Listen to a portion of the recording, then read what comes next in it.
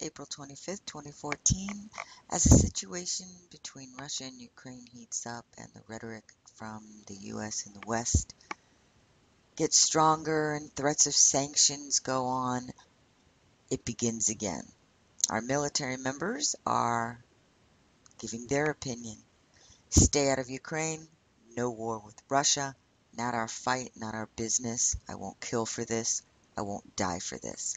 Now, if you remember, when the false flag happened in Syria, or the chemical attack that was being blamed on Syrian President Bashar Assad, was proven to have been conducted by the rebels that unfortunately we were supporting, which were working in conjunction with the other rebels, which were Al Qaeda.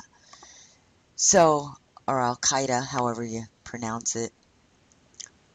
Um, you will remember that the soldiers at that time, there was dissension among the ranks also.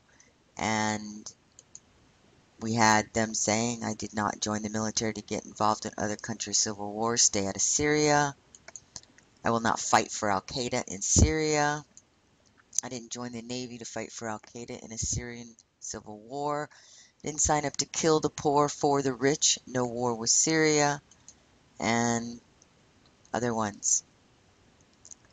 I didn't join the Marine Corps to fight for Al Qaeda in the Syrian civil war. I didn't join the Navy to fight for Al Qaeda in the Syrian civil war. Obama, I will not deploy to fight for your Al Qaeda rebels in Syria. Wake up, people. So this may be just the first shot across the bow, so to speak, from our military members, but they're definitely realizing that this is not our fight, even though we are rumored to have been behind the ousting of the elected president in Ukraine. Now a bunch of neo-Nazis are running it, and Russia moved into Crimea to protect their people, they said. Whatever the reasons are, it's not our fight. We might have stuck our nose into it, but a lot of our military, they're tired of it they're tired of the false flags. They're tired of deliberate pushing for a war that could turn into World War III. So we'll consider this the first shot.